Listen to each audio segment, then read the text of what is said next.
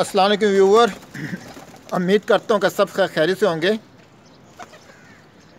आपको एक इंतहाई मौसर देसी और मेडिसिन मिक्स दाना पानी बता रहा हूँ और ये दाना पानी लो फ्लायर हाई फ्लायर दोनों के लिए है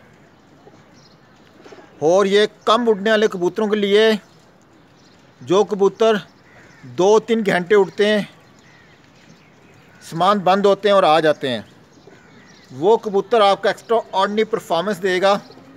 इसमें करना ये, आपने ईवल की गोली लेनी है 25 मिलीग्राम की गोली लेनी है साथ आपने लेनी है, मोटी वाल की एक टैबलेट ईवल की एक गोली होगी मोटी वाल की एक टैबलेट होगी और इसमें आपने मल्टी विटामिन कोई सी भी ले लें, लेकिन उसमें बी विटामिन लाजमी हों। एक गोली वो ले लें, सेंट्रम ले लें, सेंट्रम गोल्ड ले लें। एक गोली ये कर लें, इन तीनों चीज़ों को अच्छी तरह पीस लें।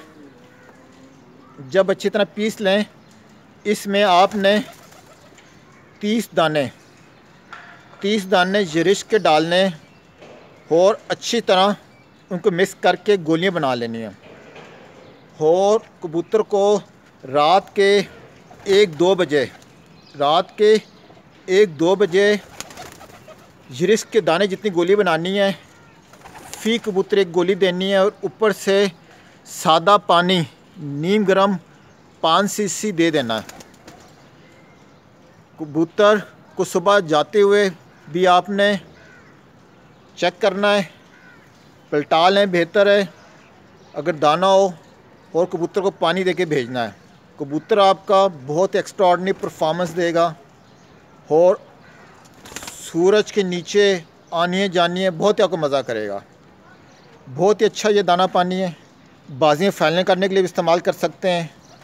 और जब वापस कबूतरा को उड़ के आए तो भी आप जो जरिस के जो बीज हैं, ये जरिस दाना जो है, ये आपने अगर पानी में भगो के रखा हुआ इस्तेमाल कर रहे हैं तो वो भगो के रख लें। या वैसे आप इस दाने को खुराक में कूट के दें कबूतर का जिगर डिटॉक्स हो जाएगा, उसका खून बिल्कुल साफ़ हो जाएगा उसने जो मेडिसिन ली उससे निकल जाएगी। तो ये आप कर सकते हैं। तो इससे आपके कबूतर न्यूट्रल हो जाएगा और अगली प्रवास के लिए भी तैयार हो जाएगा। अमीर करते वीडियो पसंद आए कि रिक्वेस्ट सब्सक्राइब लाइक कीजिएगा, जजाकल्ला।